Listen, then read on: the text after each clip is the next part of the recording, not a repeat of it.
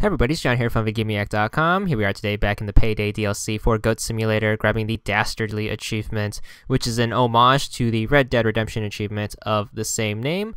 The first thing you are going to need is the Hog Tie Mutator. You get this after picking up half of the uh, trophies in the DLC. Once you have that, make sure you equip it, and you can use any character for this. I'm just going to use the Goat because uh, you know, it's pretty close to the start point, so you don't have to fly anywhere.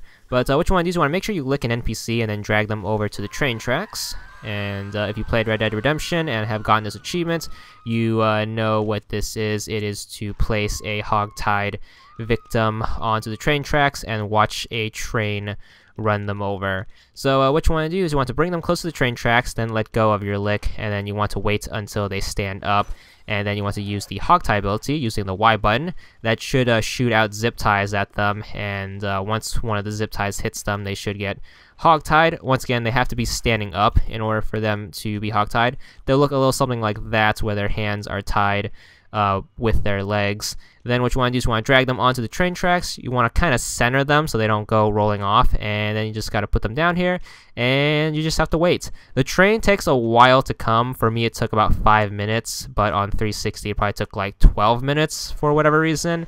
But eventually, it should come out. It should. It comes from the tunnel and moves from right to left.